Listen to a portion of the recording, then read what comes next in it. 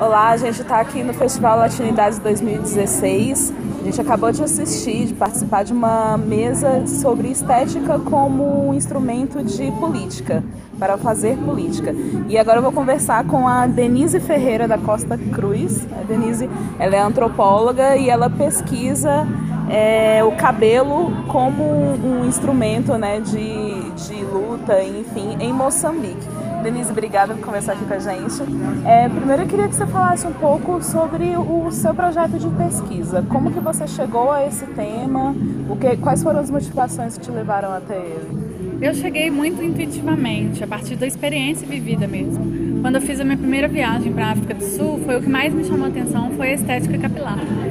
Quando eu fui para Moçambique, para Maputo, onde eu ia realizar finalmente a pesquisa, esse tema me chamou a atenção e me deu abertura, porque é, eu recebia convites para ir ao, ao salão retocar o cabelo para alisar. Eu era assediada na rua porque eu tinha um cabelo grande como o seu. E aí elas queriam saber onde eu comprei aquele cabelo, de onde ele era, se era meu, queriam pegar, queriam encostar, tinham uma curiosidade com a minha presença. Então a minha corporalidade foi instrumento de mobilizador de achar, encontrar um tema para desenvolver a pesquisa. Foi a partir daí que eu. E aí você escolheu Moçambique justamente por esse estranhamento que eles tiveram em relação a você? Como não, eu não sabia disso. Eu fui sem saber. Uhum. Foi toda uma, uma coisa que. O tema não estava pensado, tinha um outro projeto em mente. Mas eu escolhi Maputo porque eu tinha feito uma pesquisa na graduação sobre Moçambique. Então eu dei continuidade à minha pesquisa, desde, desde a graduação que eu faço pesquisa sobre Moçambique. Bacana.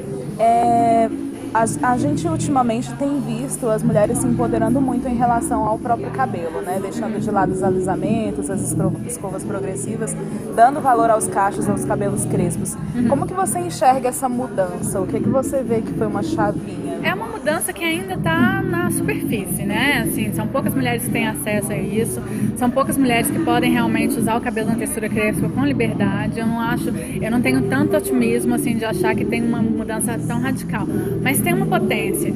O que eu acho mais potente é o que a Bell Hook chama de amor interior, que é o amor por si, o cuidado com si, o, o toque com o cabelo, o tempo dedicado ao cuidado com o cabelo e a descoberta da, da negritude ou da, de uma estética capilar positiva, isso é o que eu vejo de mais potente nesses movimentos que eu pesquiso. Você falou na mesa sobre a questão do preconceito capilar, né? Uhum. A gente pode chamar de um conceito, né? É um conceito. Explica o que é esse preconceito capilar e como que ele influencia na identidade das pessoas. Uhum. O preconceito capilar é um preconceito fenotípico, né? Ele tem, ele é calcado na aparência física e é no caso capilar porque é cabelo e ele tem a ver com uma imposição de uma estética única e de uma, de uma compulsoriedade de uma estética. Ou você tem que só alisar, ou no caso de Moçambique você tem que sempre que mudar.